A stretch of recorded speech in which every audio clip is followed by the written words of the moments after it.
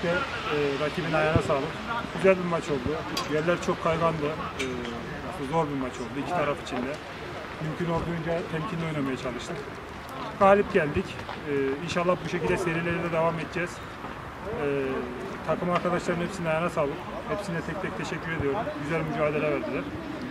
E, En büyük teşekkürü de buradan eşime e, ediyor, etmek istiyorum. Sağ olsun. Haftada iki gün, üç gün maça geliyoruz. E, çoğu zaman e, surat hasta da bizi idare etmeyi biliyor. Bugün maçımız var, yarın maçımız var. E, ona buradan çok teşekkür ediyorum. Şu playoff süreci boyunca beni idare ettiği için tekrar ona teşekkür ediyorum. Onu seviyorum.